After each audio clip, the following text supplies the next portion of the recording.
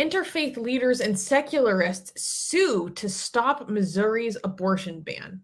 On January 19th, a lawsuit was filed by the Americans United for Separation of Church and State and the National Women's Law Center in St. Louis, Missouri, challenging the state's ban on abortion.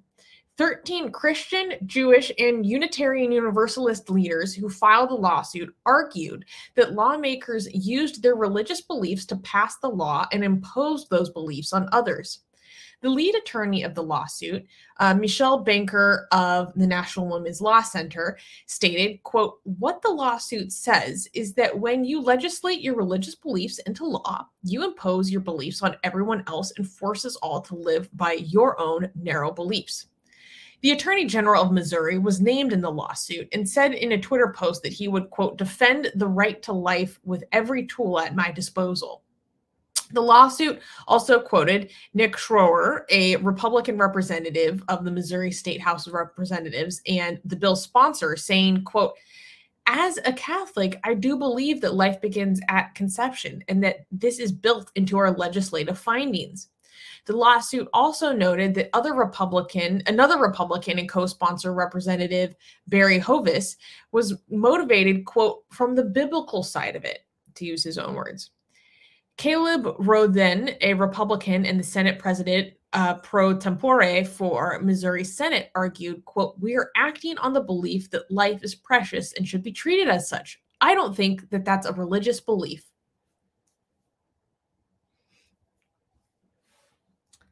I don't think that's a religious belief. That's a, how is that not a religious belief?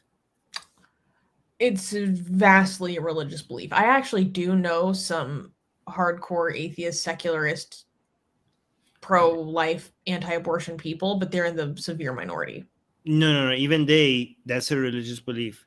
For example, if you're an atheist and you believe that circumcision is the right thing to do for, you know, for boys, you might be an atheist, but that's a religious belief. You got that from religion.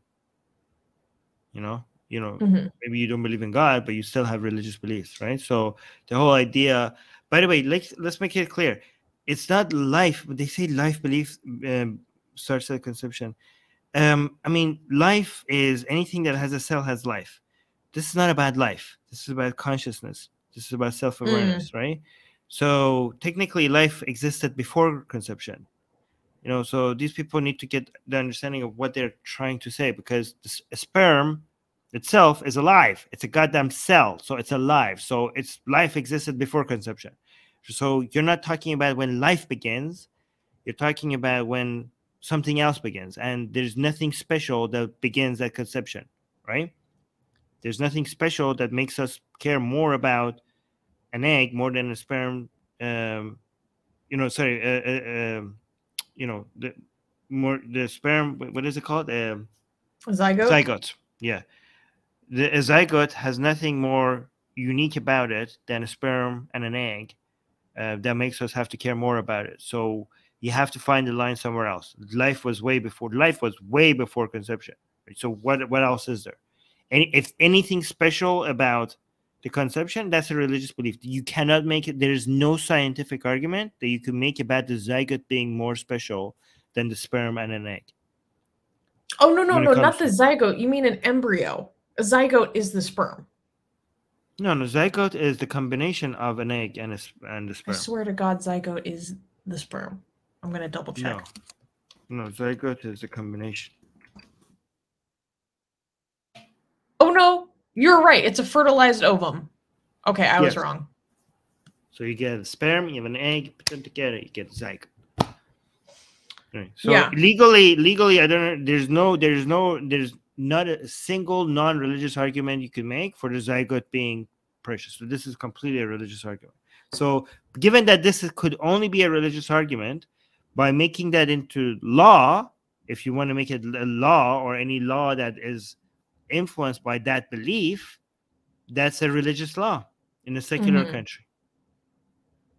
Yeah, and so part of the foundation of this lawsuit is that they are basically quoting people who are involved in, in creating and enforcing and sponsoring this legislation and they have many quotes where they can be taken making religious arguments And so people have tried to overturn abortion bans in various states around the US, but it failed. But they are taking this argument basically on the basis of the Establishment Clause and saying that this is a violation of church state separation. And there are a lot of faith leaders who would agree with this. Like Dee has a good comment. She's saying, heck yeah, this is a religious argument, and evangelicals are not the only religion. Jews don't consider a person a person until after they are born. Yes. So so basically what we are saying is that if given that this is a religious argument, um, well, we have multiple opinions in religion. So you're screwing yourself, you're shooting yourself in the foot. You're like, oh, we should allow this religious argument, okay? do you want to allow one of them or do you want to allow all of them? Mm-hmm. because they are contradict they're contradictory. Exactly. Yeah. And then d is saying they meaning people no, Amer- are, not the Gasian American. Oh excuse me Gasian American. Um saying they are in their own bubble and think that their beliefs are the standard. Yes this is 100% true. Like this interpretation of this concept of life at life at conception and basically it's it's an argument over ensoulment as you would say in an abrahamic perspective and they have the most extreme interpretation of this. The traditional muslim their um, interpretation generally is not this extreme. The traditional jewish perspective is not this extreme.